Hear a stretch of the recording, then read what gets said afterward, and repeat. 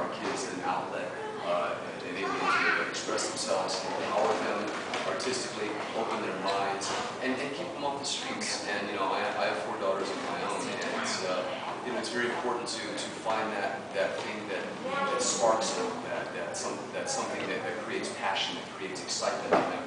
And uh, so they, you know, they don't become bored, they, they don't become lethargic and, and just get, get caught up in, in you know, a lot of things that really aren't good for them. And, and what I love to see is that what Mattie Rhodes is doing here is, getting early,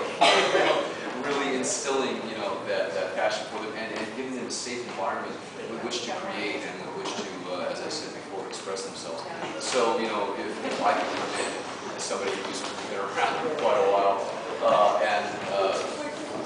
pass that torch on, maybe even, you know, give a little spark to them and, and if we get, you know,